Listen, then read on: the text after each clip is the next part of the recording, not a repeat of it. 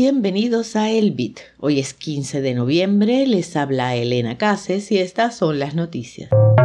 Las CBDC podrían reemplazar el efectivo en algunas economías, dice ejecutiva del Fondo Monetario Internacional. Usuarios españoles de criptomonedas deben declarar tenencias de dinero en exchange extranjeros. La Human Rights Foundation lanzó su rastreador de CBDCs tasas de financiación de Bitcoin se vuelven neutras luego de 300 millones de dólares en liquidaciones. La librería de Satoshi es tu comunidad de educación sobre Bitcoin en español. Para enterarte de los próximos cursos disponibles, visita libreriadesatoshi.com.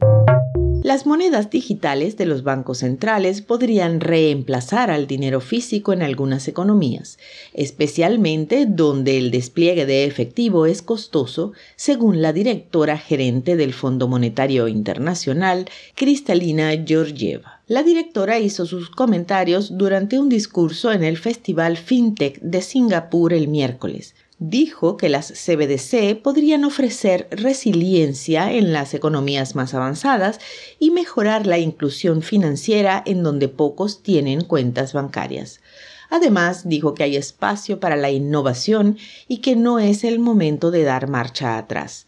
Pidió al sector público que siguiera preparándose para implementar CBDCs y plataformas de pago relacionadas en el futuro. La ejecutiva también se hizo eco de los comentarios recientes del jefe del Banco de Pagos Internacionales, Agustín Carstens, de que las CBDCs serán fundamentales para la innovación financiera y que el sector privado tendrá que desempeñar un papel importante para llevar las monedas al mercado.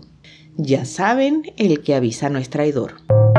La agencia tributaria española obliga a los usuarios de criptomonedas con tenencias de dinero fiat en un exchange extranjero a declarar la totalidad de los fondos. La declaración debe realizarse bajo el modelo 720 que rige desde 2012 y está orientado a la información sobre bienes y derechos que están situados fuera del territorio español. La obligación solo aplica si la cantidad de dinero fiat con el que se opera en el exchange es superior a los 50.000 euros. Las declaraciones informativas ante las autoridades de España son parte de las medidas regulatorias que ha ido tomando el país ibérico sobre el ecosistema de criptoactivos.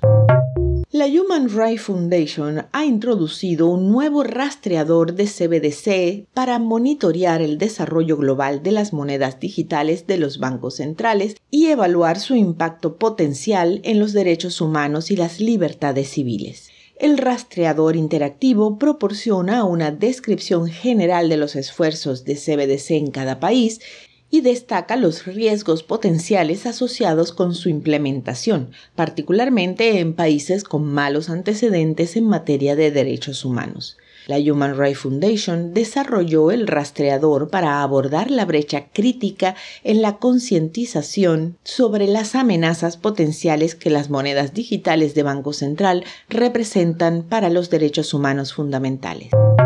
Las tasas de financiación de Bitcoin han vuelto a ser neutrales ya que el mercado experimentó más de 300 millones de dólares en liquidaciones en las últimas 24 horas. La fuerte caída en los precios de la criptomoneda, que rondan el 5%, es probablemente la causa del reseteo. Las tasas de financiación son tarifas que los comerciantes pagan para mantener el precio de los contratos de futuros perpetuos en equilibrio con los precios al contado. Tales tasas, particularmente en dirección positiva, indican un optimismo en el mercado de futuros y mayores posibilidades de caídas inesperadas.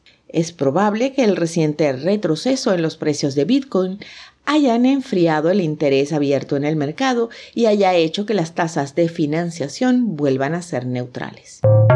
Al cierre, el precio de Bitcoin se mantiene alrededor de los 36.149 dólares por moneda.